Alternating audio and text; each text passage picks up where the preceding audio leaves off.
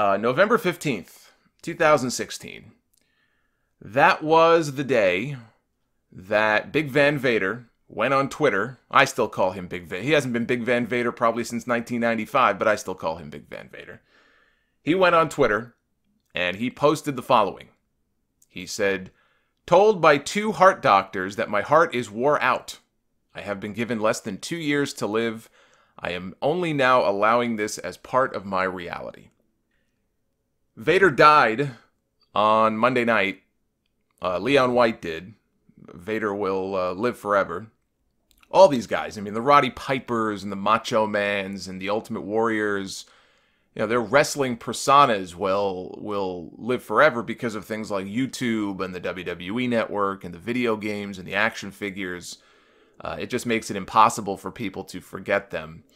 Uh, Vader is not somebody that you can easily forget. I said this on Twitter how, you know, if you look at, I mean, how many 400 plus pound men can you think of who, who can do or did do moonsaults fairly routinely too, uh, off the top rope? I can't think of many. You know, someone said Bam Bam Bigelow did them, which is true. He did, and Bam Bam is one of the best big men ever to be in the ring as well. Uh, but he wasn't 400 plus pounds. And you got to remember, you know, when Vader started doing those moonsaults, he was already a headliner in WCW. It's not like guys do crazy moves in, you know, the early part of their career to get noticed. Mick Foley put his body through hell because he felt he had to. He wasn't a great wrestler. And so, what do you do to get attention? You throw yourself off the apron onto the exposed concrete floor. You, you tell people to just, you know, legit rough you up. You take crazy bumps.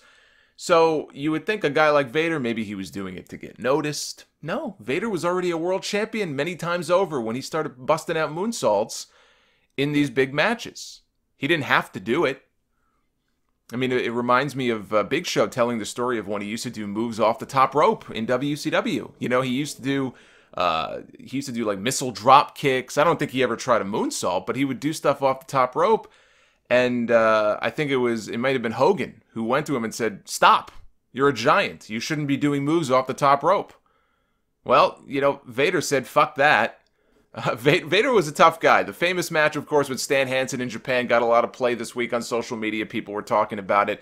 Uh, his failed run in WWE, I call it failed. I mean, he had some success, but let's be honest. I mean, Vader as a headliner was a failed experiment in WWE. Uh, you know, the which by the way, WWE being the only place that he was never truly the top guy. He was the top guy at some point everywhere else that he went. Uh, across multiple continents, but somehow WWE could not get it right with Vader. Uh, but the match with Hansen, where Hansen popped his eye out of his socket, what did Vader do? He pulled his mask off and he pushed that shit back in, and he continued the match. That's badass. I can remember watching him in WCW. I, I, mean, I wasn't much of a WCW fan at that time in the early 90s. I was sort of forced into watching it when I, I would be at my grandparents' house on Saturdays. They had cable, we didn't.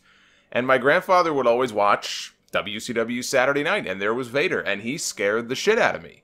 You know, he scared a lot of kids back then. He probably scared a lot of adults, too, when they saw their names opposite his on the board backstage uh, which I actually think is something that's missing in wrestling these days. A guy, a guy in New Japan like a Minoru Suzuki is pretty terrifying, but he's no monster like Vader was. There's no one in WWE right now who can scare you the way that Vader did. Not even Brock Lesnar. Lesnar may be the closest thing, which is why he still kind of sort of feels special, but there's no one like Vader anywhere up and down that roster. Um, Vader was stiff. He hurt a lot of people. I'm, I'm not saying that I miss that or that we should have more people injuring others. But you know, he was a, a stiff worker who who hurt people, and he broke a guy's back once on a power bomb, and he damn near killed Mick Foley. Even if Foley did ask him to do it, he beat him half to death in those matches they had in WCW. Those matches, though, are arguably what put Foley on the map. Uh, and Foley posted his own Facebook blog this week about Vader's passing. He was very close with him. He was very upset that Vader never got inducted into the WWE Hall of Fame before his death. The Hall of Fame meant a lot to Vader. Uh, you know, for all the joking that's done about what the Hall of Fame does or doesn't mean, as fans, right, we have those discussions and debates about what it actually means. Uh, to Vader, it meant something, and he badly wanted to go in. He was not shy about that. Uh, two years ago, he jumped the gun and he teased the Hall of Fame announcement on his Twitter uh, account, but he never got inducted. Instead, he was invited, and maybe that's what he was teasing. But you know, he put a picture of the Hall of Fame logo up there, and immediately people said, "Hey, wait a minute, are you going into the Hall of Fame this year?" Turned out he was invited to do the induction for Stan Hansen, the same man who popped his eye out, which led to a funny moment during uh, Vader's speech for Hansen, where Vader wore those silly glasses with the eyeball hanging out like a, like a slinky to uh, sort of poke fun at the incident. But to go back and watch him on that stage and realize that he was the one inducting someone else and that he never got his own moment up on that stage while he was still alive, I think Mick Foley is absolutely right to be upset about that. Uh, and it was the same deal with Randy Savage. I will never forgive Vince McMahon uh, for dragging his feet on that and waiting until after Savage was dead to put him into the Hall of Fame. Um, you know, if, if for no other reason, because it deprived all of us, right, selfishly, of the chance to hear a pretty damn entertaining Hall of Fame speech. Uh, he should have been a slam dunk entry years before he passed away. Uh, that being Savage, and and Vader is a slam dunk guarantee too. You know, I don't think anybody doubts that Vader is going to get a Hall of Fame induction at some point. He deserves it. He was a big star, made a lot of money, worked with top names, was champion everywhere he went uh, and could do things in the ring that nobody else his size could do. I mean, he if you made a checklist, you know, he checks off all the boxes of what you would look for in a Hall of Famer. Uh, he made a lot of money, you know, pretty much everywhere he went as well. So uh, maybe the most athletic super heavyweight in all of wrestling ever. You know, tons of classic matches. He gave Sting some of the best matches of his career. I love those matches. You know, when I did my uh, top 15 WCW matches of all time list, the whole countdown I did a few years ago here on the Sound Off. Um, Sting versus Vader, Starcade 1992, the finals of the King of Cable tournament, was on that list. Uh, you know what else was on that list? Vader's match with Ric Flair at Starcade 1993, one of the all-time great WCW matches. Uh, he had great matches with Cactus Jack uh, in WWE. He, the match he had with Shawn Michaels at SummerSlam back in '96 was a damn good match.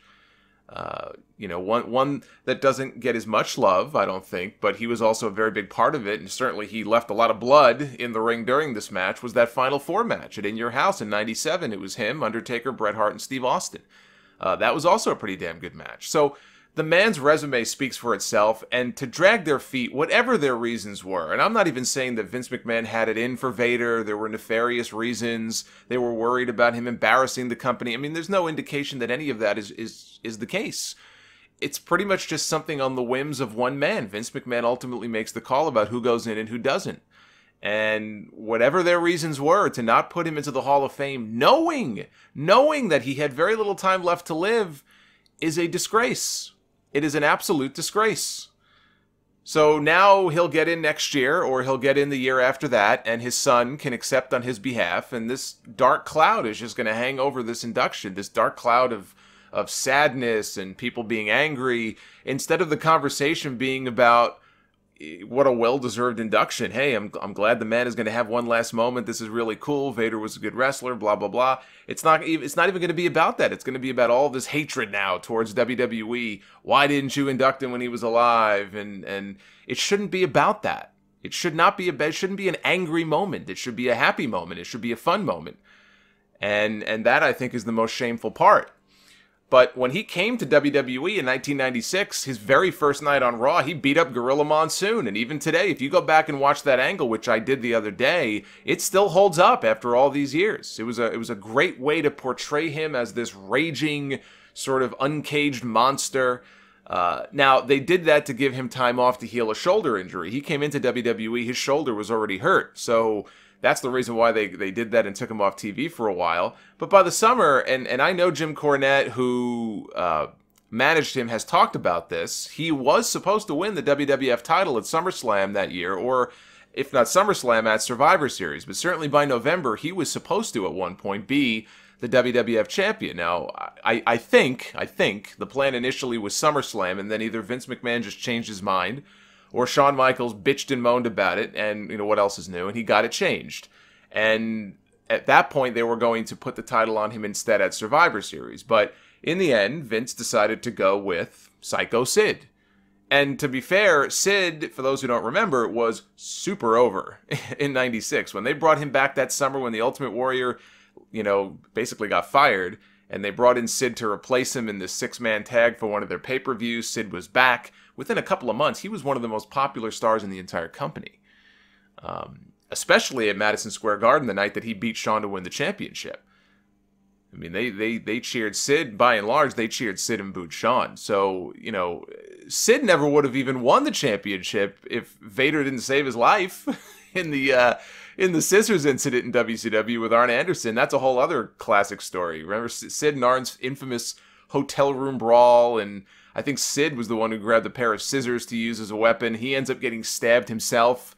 He stumbles into the lobby. Vader sitting at the bar with Steve Austin wearing nothing but his boxer shorts. There's a visual for you.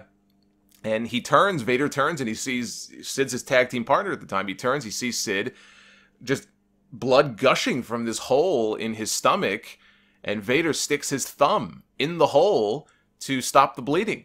And and Vader used to say, like in shoot interviews, he would say, you know, I never even got a thank you from Arn Anderson for saving him from a possible murder charge. But anyway, um, WWE missed their chance with Vader.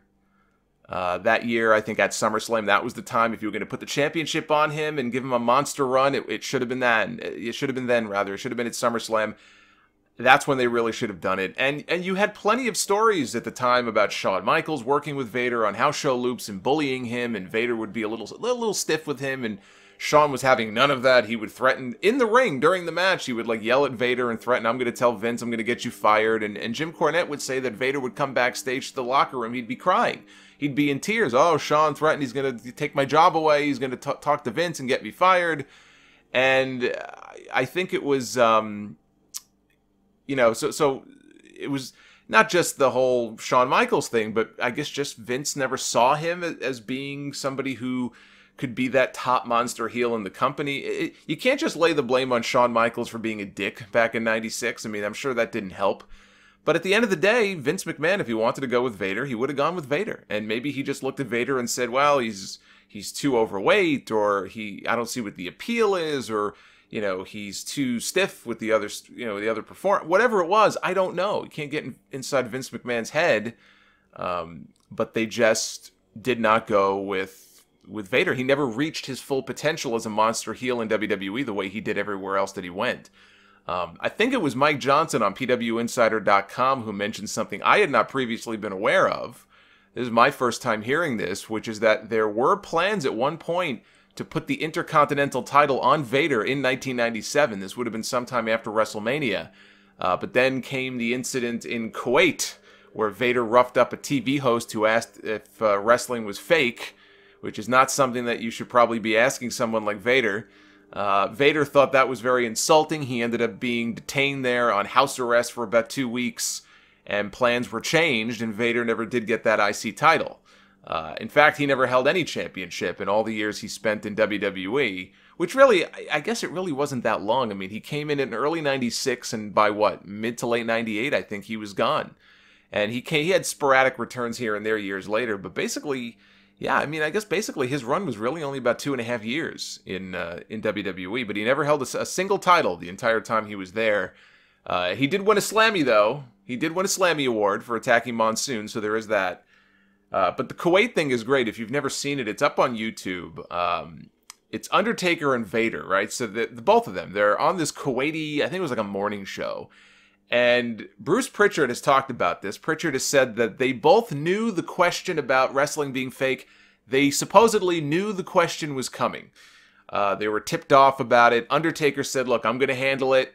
The company did not want either of them acting unprofessional. They did not want anybody cursing or anything like that. Remember, you're also in a foreign country. The laws there are a lot more strict. So they knew the question was coming, but Undertaker was going to handle it and it was going to be fine. Um, so if you watch the video, Undertaker answers the question in a very, I would say, diplomatic way. And then when the host sort of goes to move on or ask another question, Vader now Vader is sitting there listening to this the entire time, and you could see the look on his face, like, uh oh, he he like you could see the the blood sort of boiling there. And when the host goes to move on, Vader interrupts and he says, Well, you know, I, I'd like to have a chance to respond to that question if you don't mind. And what makes this whole thing even better, what makes this whole thing that follows even better, is that there's like this elevator music playing in the background. I don't know, it just makes the whole thing funnier. So Vader ends up, you know, he's he at first he's being very respectful and just telling the guy why he feels so insulted by this question, and the host tries to like, well, it wasn't my question or something, and that's it. Vader just snaps. He overturns the table that's in front of them. He very violently grabs the host by his necktie. He gets up. Vader stands up. The guy's still sitting down. And he looks down. He's like, Does this look fucking fake to you? And the entire time, Undertaker's got he's got the the winged eagle belt in his lap. He's just sitting there. He's got sunglasses on like Cool Hand Luke. He ain't moving a muscle. He's he's like paralyzed, just sitting there watching this whole thing, uh, not saying a word, not doing anything. And all the while, this elevator music is playing in the background. But uh, Vader later on, he, he claims the whole thing was staged by the producer. The thing is, they never clued in the host about what was going to happen, and the host was scared to death. He pressed charges, and that's why Vader got detained. He had to pay a fine. Whatever the true story, I think everybody should go back and watch that video if you've never seen it before. Um, but, you know, looking at the, kind of the, the latter part of his career, especially in WWE, Vader did let his weight get out of control. Uh, that was one of the big knocks on him, and Jim Ross has talked about this. They sent him and Yokozuna to fat camp to try to lose weight. And then they found out not only did they not lose weight, they gained weight because him and Yokozuna were sneaking out at night to go find chicken, and they weren't losing any weight. So he had a big weight problem in WWE. There was that one pay per view in '98 where he, I think he lost to Kane, and they did a ringside interview with him when the match was over. And Vader gets on the mic and he calls himself a big fat piece of shit. He goes, "I got, I'm just a big fat piece of shit." Live on the air. Um, but when he left WWE and he went back to Japan, which he did, I believe, in '99 and, and into 2000, he had, and, and at this point he had to be in his early 40s. He had a career resurgence, and he actually became more like the Vader of old. So it really, you know, it wasn't a case of this guy's washed up, he's too banged up, he can't do it anymore he proved when he left WWE and went back to Japan that he could still do it and he could still be a top star and, and, and, a big monster and he had this career resurgence and i think his lack of success in wwe because of that i think is more of an indictment on WWE, just not knowing how to use him other than, yeah, you hear the excuses Vader had a bad attitude, which he probably did, and people complained that his ring gear was smelly and they didn't want to work with him. So, I mean, there were a lot of complaints and a lot of issues with Vader in WWE, but to me, it's all nonsense. That none of those reasons are an excuse that you could not have done more with this guy and really just built him up to be this this big monster uh, who could have a, a good run for him, whether he's the champion or not this big monster who could just go on and have a, a big run for himself, and it just never came. Um, I mean, I, I, look at Vader, I kind of think like Vader was Brock Lesnar before there was a Brock Lesnar. Before Brock Lesnar and Paul Heyman, you had Vader and Harley Race in WCW. And Heyman, let me just say, Heyman is a much better promo than Harley Race is, at least uh, what when the part of Harley's career, at least when he was managing. Uh, Heyman is just light years ahead of him in that department, but I mean, what a match in their primes! What a match that would have been, though, right? Vader against uh, Brock Lesnar. That that's uh, one of those fantasy warfare type matchups there. Um, he had a lot of personal problems. He drank too much. He got hooked on pain pills. He was in a coma at one point for 30 days. Uh, his wife divorced him. I mean, the guy, the guy just hit rock bottom at one point. And what happened was he got hooked up with the Wounded Warriors Alliance, which is an organization that helps soldiers uh, who have been injured in combat uh, it's actually one of the things I wanted to ask him about when I tried to interview him many years ago. It didn't work out, but you know he would he would basically go around to their events and he would talk to these soldiers and he would tell them about all of his injuries and all of his concussions and surgeries and broken bones and his personal problems and I you know try to use that as a way to sort of um, keep their spirits up, almost like in a motivational speaker type way. Uh, so he was doing some positive things in his life there towards the end, and it's just you know the whole thing. You look at it, and it's just it's a damn shame that he won't have the chance now to tell that story himself one day at the Hall of Fame. But the way I look at it is this: he doesn't need the Hall of Fame to validate what he did in his career. Nobody does. Nobody needs the Hall of Fame. You know, it's a marketing tool. If it didn't exist, it's not like we're going to suddenly forget all these all these different uh, legends and stars. Now, I know he probably feels like he did for whatever reason. It was that important to him that he be inducted and acknowledged in the Hall of Fame. Whatever the reason, it was just very, very important to him. And so I know he felt like it probably meant, uh, you know, the difference between people remembering him and maybe people not remembering him. But if he never goes into the Hall of Fame, and believe me, he will, even if he doesn't, though, it does not change the fact that he is still, in my opinion, the greatest super heavyweight of all time. Uh, whatever your criteria for that is. I, I don't look at somebody, for example, like Undertaker and think, oh, he's a super heavyweight. He's a heavyweight, right?